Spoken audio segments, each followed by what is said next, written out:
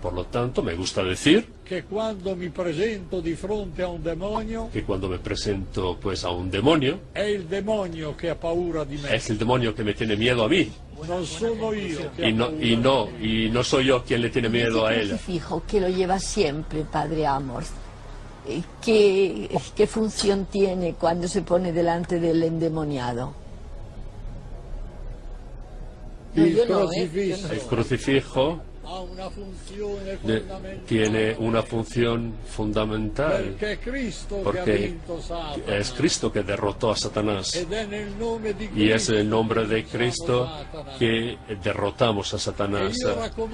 Y yo recomiendo a todas las personas que nos están escuchando que si se encuentran, eh, está pasando por dificultades, eh, que si tienen trastornos, que invoquen al crucifijo.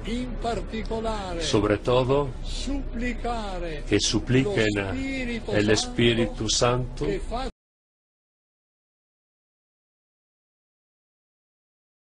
la sangre de Dios. La sangre de Dios tiene una influencia enorme. El demonio tiembla. Cuando se nombra eh, la sangre de Dios. Si nomina y cuando se nombra la fuerza del Espíritu Santo que actúa a través de Jesucristo. Aquí tienen mi crucifijo. Yo utilizo un crucifijo especial en el que, se, que contiene la medalla, la medalla de San Benedicto, que lleva frases contra el demonio.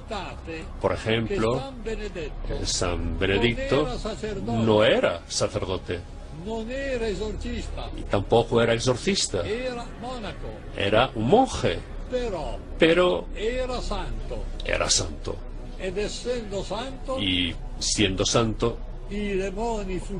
los demonios huían, huían de él.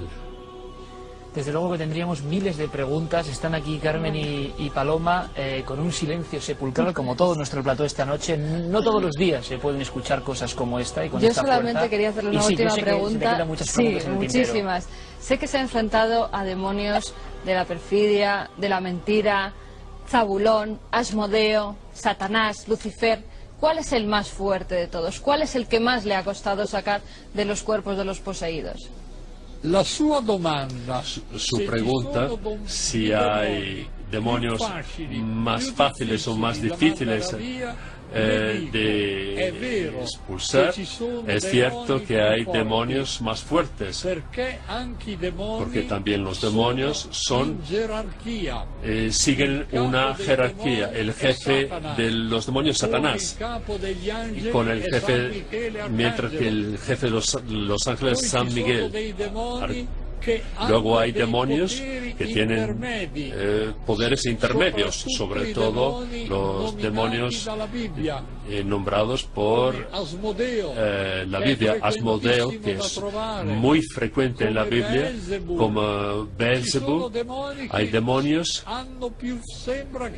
que parece que tienen más fuerza, pero en realidad lo que, lo que sí cuenta, lo que hace que una persona pueda liberarse es la fe, es la fe. Nos quedamos con esas palabras de Gabriel Amor. Yo creo que bueno ha sido un pequeño gran lujo tener aquí eh, bueno pues a este representante de un oficio, de un arte, de una misión que provoca muchísimas preguntas, pero que hemos tenido el placer de poder hacérselas aquí en cuarto milenio. Nos hemos quedado muy sorprendidos, muy impresionados eh, y hay que agradecer primero, por supuesto, al Padre Amor.